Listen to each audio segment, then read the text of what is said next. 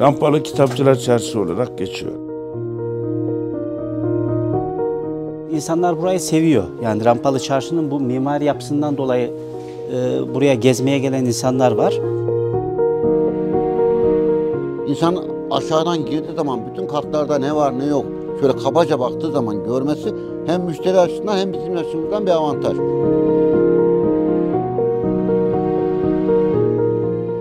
Ondan 98-99'da terziliğe başladım tekrar. Mesleğim terzi olduğu için. Tadilat yaparız. Sadece ne tadilat? 2004'ten beri kitapçılık yapıyoruz burada. Yaklaşık 20 yıldır esnafız. 25 yıldır Rampal'da esnaflık yapıyoruz, çaycılık yapıyoruz. Burada e, aşağı yukarı 15 yıldır burada yöneticilik yapıyoruz, esnaflık yapıyoruz. Ben Rampalı'ya 22 yıl önce geldim. Yıl 2001'di. Hatta bu katlara çıkanlar da olmuyordu. Bu, bu kattaki dükkanların çoğu boştu. Ee, 22 yılı doldurduk burada. Rampalı çarşımız 1981 ruhsatlı yapılmış. Efendim, 248 dükkanımız var. Bürolarımız var. Aşağıda kitaphanelerimiz var, kitapçılarımız var. Yukarıda mescidimiz var. Rampalı 1981'de açıldı. Ama ben burada değildim. Ben 1987'de Rampalı'ya geldim. Rampalı Çarşı'nın bir kendine has bir cazibesi var. Ee, burada kat olayları biraz değişik. Yani Rampalı e, mimari yapısı biraz farklı. Ee, hatta ben burada ilk e, mesleğe başladığımda aşağı yukarı bir hafta falan dükkanımı zor buldum. Yani buranın giriş çıkışları işte e, e, yani iniyorsunuz bir kat indiğinizi zannediyorsunuz ama inmiyorsunuz falan böyle değişik bir yapısı var. Çoğu mesela e, çıkışı sorar bulamaz yani rampalıya girer ama çıkışı bulamaz falan. Ondan dolayı böyle cazip bir şeyi var, mimari yapısı var. Bundan dolayı güzel bir çarşı, örneği yok. Dolayısıyla insanlar burayı seviyor. Yani Rampalı Çarşı'nın bu mimari yapısından dolayı e, buraya gezmeye gelen insanlar var. Rampalı'nın üst katı otopark. Buradan e, normal dönerek en üst kata çıkılır. Çok güzel bir şey. Merdivenleri çıkmadan dolaşabilirsin. Tekrar geri aşağı inebilirsin yani hiç merdiven asansör kullanmadan yani. Rampalı'da hatta çok fazla bir şey değişmedi 22 yıldır. Ee, ama sonuçta Konya'nın merkezinde e, öğrencilerin sürekli uğrak yeri bir yer.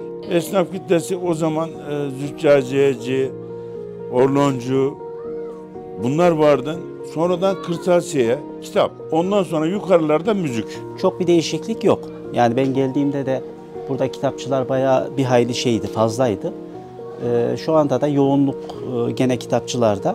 Dolayısıyla e, Rampalı Çarşı deyince e, Konya'da e, herkesin aklına şey geliyor. İşte kitabın merkezi, kültürün merkezi, kitapçıların bulunduğu bir çarşı.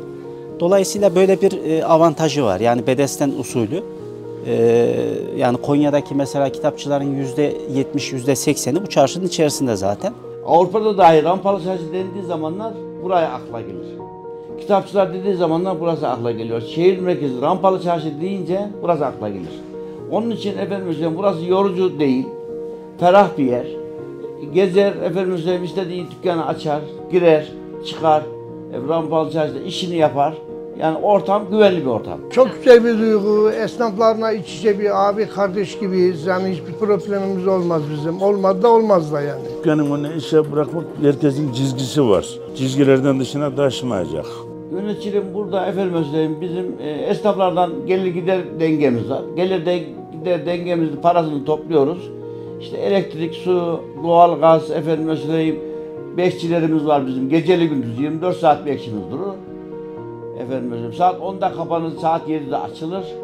Yemek içme iş, işlerimizi lokantada söylüyoruz. Dönercilerden söylüyoruz. Şöyle yani birbirimizden sebepleniyoruz yani. Esnaf lokantalarımız var. Onlara telefon ediyoruz. İşte her gün bunu değiştiriyoruz. 3-5 tane var. Yemek çeşitlerimizi değiştirmek için farklı yerlerden sipariş veriyoruz. Arkadaşlarla toplanırız. E, dört dükkan, beş dükkan birleşir. Öyle bir yaparız. Herkes et, ekmek, börek, e, yağ somunu bunlardan yeriz yani öğlenleri. Çok e, rastladığım bir şey. Öğrenci geliyor buraya mesela ilk defa gelmiş veya ikinci defa gelmiş neyse çıkışı bulamıyor. Ya buranın çıkışı nerede falan diye arıyor. Onda bir iz bırakıyor. Öğrencilerin gelmesini isteriz. Önün açık olması, insan aşağıdan girdiği zaman bütün katlarda ne var ne yok şöyle kabaca baktığı zaman görmesi hem müşteri açısından hem bizim açımızdan bir avantaj. Burası klasik sistemde yapılan bir şey olsaydı, bina olsaydı biz bu dükkanda mesela iş yapamazdık. Rampalı'da e, esnaf olmanın e, şeysi kitapçılar buraya yerleşti. Rampalı Kitapçılar Çarşısı olarak geçiyor yani. İşi sevmiş olmak e, bir şekilde e, bizi yürütüyor. Yani onlar genç ama Türkiye'de iki tane biri Denizli'de, Rampalı'nın biri de burada. Yıkıldığı zaman bu kaldırılamaz. Yani artı Konya'nın bütün kitap, kırtasiye işi bu merkezde döndüğü için burayı yenisini yapmadan yıkmanın bir mantığı yok. Şu anki e, Büyükşehir Belediye Başkanı bir ara e, buraya ziyarete gelmişti. Daha sonra e, sosyal medyadan paylaşmış. Hani okul yıllarımdan beri e, gezdiğim bir çarşı, çok sevdiğim bir çarşı falan diyerekten. Yani buranın böyle bir yapısı var. Yani bir kültür e, merkezi halinde. Kapının önüne içmeye gelen dışarıda da esnaflarımız vardır bizim. Rampalı iyi bir yerdir yani. Esnaflarımız hepsi iyi tekrar arıyorum yani. İyiler yani. Şöyle bir şey yok. Rampalı Çarşı'ya üniversite hocalarının çoğu gelir. Ee, öğretmenler gelir. Yani burada e, bu tarz mesela şeyler olur. Fikir akımları yaşanır. Yani konuşulur, tartışılır. Ee, bazı esnaf arkadaşlarımızın e, dükkanlarında böyle şeyler oluşur. Bizde de olur. Yani memnunuz. Niye? Bir şehrin merkezi. Merkez olduğu için herkes kolaylıklar. Biz Rampalı Çarşı'dayız denince, ikinci kattayız denince herkes bizi dünyanın her tarafından tanırlar. Yani Rampalı Çarşı olarak da tanırlar. Bir de şunu söyleyeyim, burası da çok tuhaf. İnsanlar her şeyi gelip buraya sorarlar.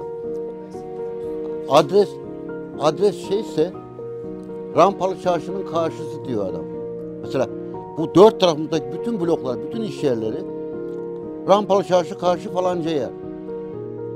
O Rampalı Çarşı ifadesini duyan insan da gelip buralarda arıyor içeride.